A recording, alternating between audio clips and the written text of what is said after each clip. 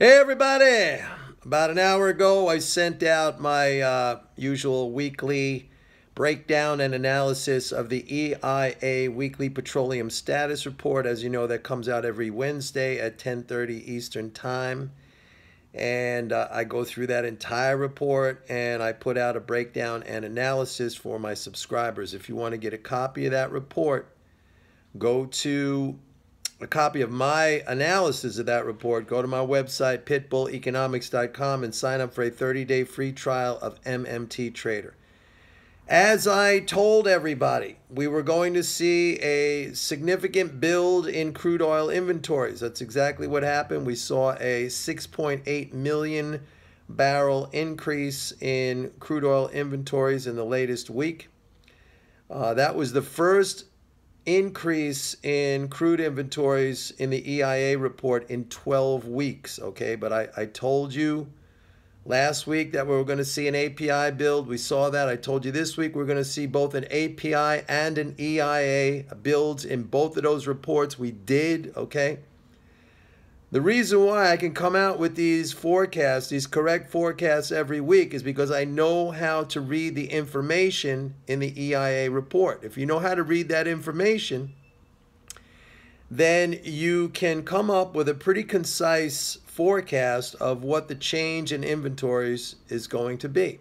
And I did. All right. So, uh, our people, my subscribers, were positioned correctly going over it again, we were long oil from 46 all the way up to 65. Last week I said the report looked a little soft to me. I told everybody to take profits in oil. We took profits on our VLO Valero. That was up. Uh, that was a 66% gain.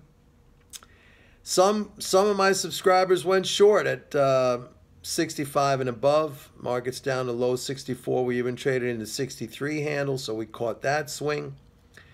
Now, let me tell you, there are things in that report today that might look a little bit bullish. I say might because there are some mitigating factors, but I, I put that, all of that, and my analysis is in the uh, email that I sent out earlier today. Again, if you want that email, go to Pitbull Economics com and sign up for a 30 day free trial of MMT Trader. There are some things in that report, there are elements of that report that look pretty bullish. But do you rush in and buy right now? I I talk about that in the email, all right? Um, let me talk about something else. We took profits today. Speaking of taking profits, all right, we took profits today in Seagate Technologies, the stock symbol STX which I recommended buying back in October at $33 a, a share, 33 and change.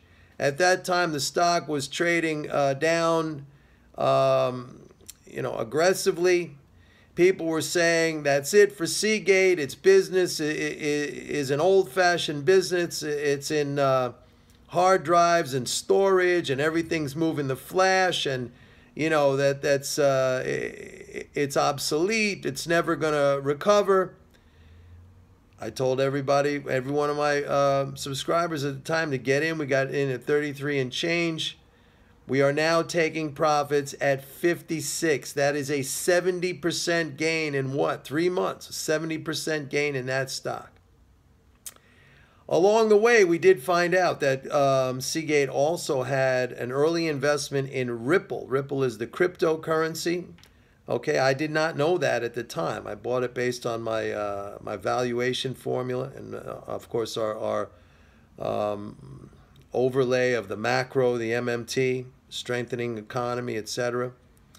Uh, but it does it did have an early investment, and it does have an early investment in Ripple uh, I do not know how to value cryptocurrencies. Okay, I stick with what I know how to do.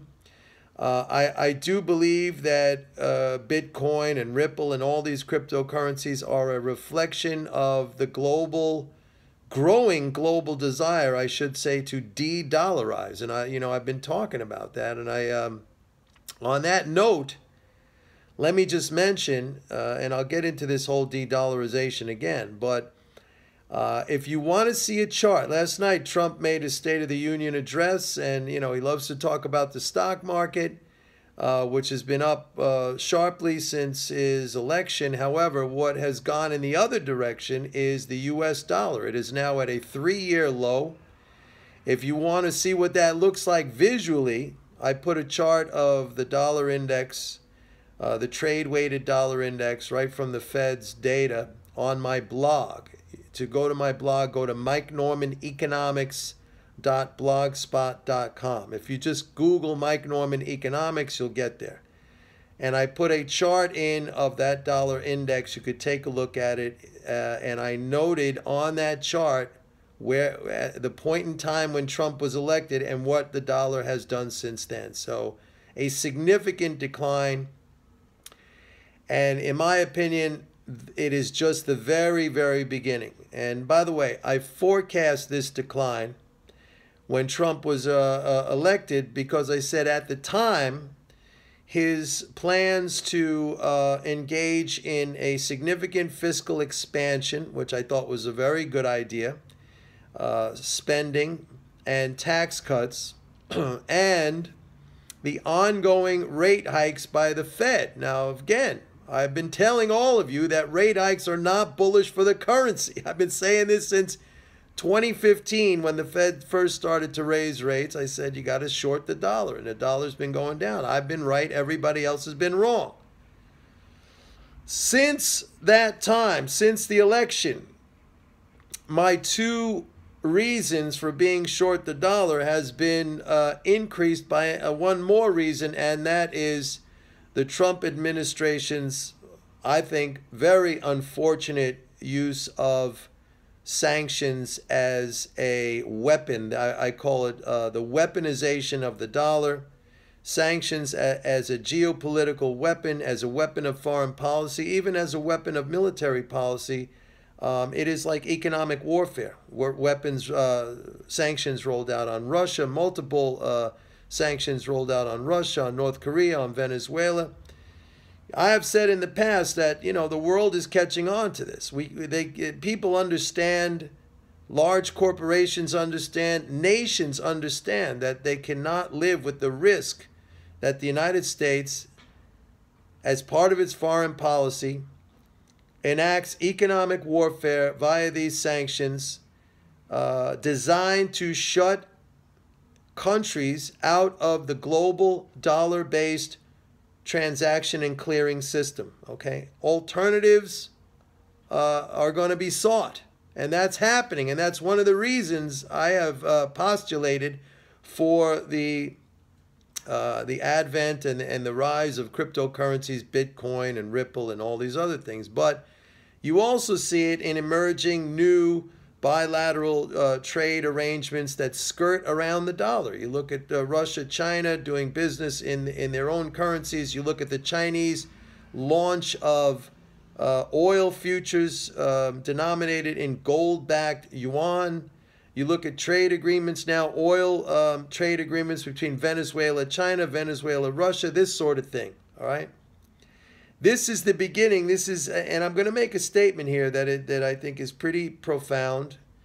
Uh, this is the beginning of the end of the dollar-based global transaction and clearing system that basically has been in place since Bretton Woods. Okay, the dollar is not recovering from this. The dollar is not recovering from this. Um, this is an unraveling.